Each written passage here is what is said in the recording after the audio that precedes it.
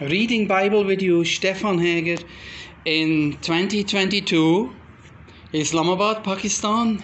Read alongside me Psalm 119, and now it's this part.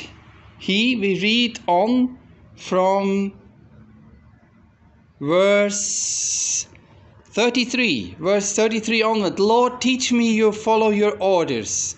Then I will obey them to the very end. Help me understand your law. Then I will follow it and obey it with all my heart. Teach me to live as you command. Because that makes me very happy. Make me want to follow your covenant laws instead of wanting to gain things only for myself. Turn your eyes away from things that are worthless. Keep me alive as you have promised. Keep your promise to me. Then other people will have respect for you. Please don't let me be put to shame. Your laws are good. I really want to follow your rules. Keep me alive because you do what is right. Wow.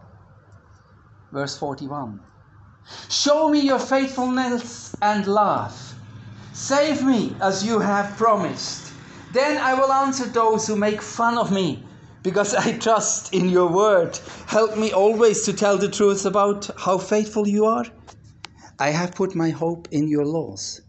I will always obey your law forever and ever. I will lead a full and happy life. Here you see the scroll, the Torah. Because I've tried to obey your rules. I will talk about your covenant laws to kings. I will not be put to shame. I take delight in obeying your commands because I love them. I praise your commands and I love them. I spend time thinking about your orders.